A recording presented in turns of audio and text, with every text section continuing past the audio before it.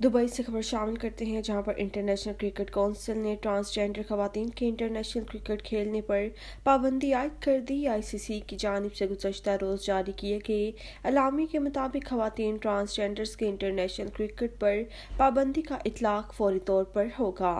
और अगले दो साल में इस पॉलिसी का मुकम्मल तौर पर जायजा लिया जाएगा।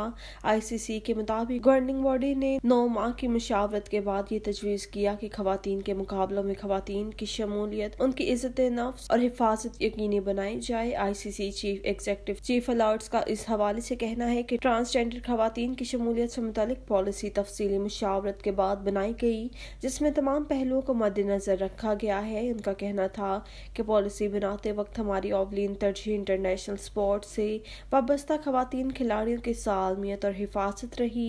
डोमेस्टिक क्रिकेट में हर क्रिकेट बोर्ड अपनी सतह पर खुद फैसले करने का मजाज होगा। ख्याल रहे कि रवा वर्ष सितंबर में कनाडा से ताल्लुक रखने वाली डेनिली मिगाहे इंटरनेशनल क्रिकेट में हिस्सा लेने वाली पहली क्रिकेटर बनी थी। याद रहे कि क्रिकेट के अलावा दीगर स्पोर्ट्स में भी ट्रांसजेंडर्स खातन के बैन अवी मुकाबलों में हिस्सा लेने पर पाबंदी आयद हो चुकी है। जून 2022 में स्विमिंग की गवर्निंग बॉडी ने भी ट्रांसजेंडर खातन के स्विमिंग के मुकाबलों में हिस्सा लेने पर पाबंदी आयद कर दी थी।